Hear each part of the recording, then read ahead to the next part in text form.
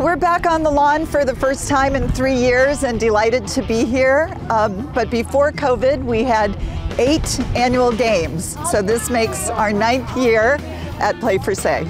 It's just the best kept secret in San Diego. They do so many awesome things in the community, whether it's for military families, immigrant families, um, uh, people who are just, you know, economically, you know, in, in tough situations. The work they do with underserved children, youth, and their families is exactly the kind of work we want to support in this community. It's really hard to say no to SAY.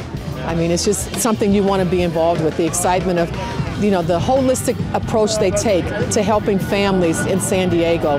We participate because we love SAY San Diego and we're here to bring the joy. We kind of work hand in hand in what we do for the community and uh, basically that's why I, I always try to support SAY San Diego in any way we can.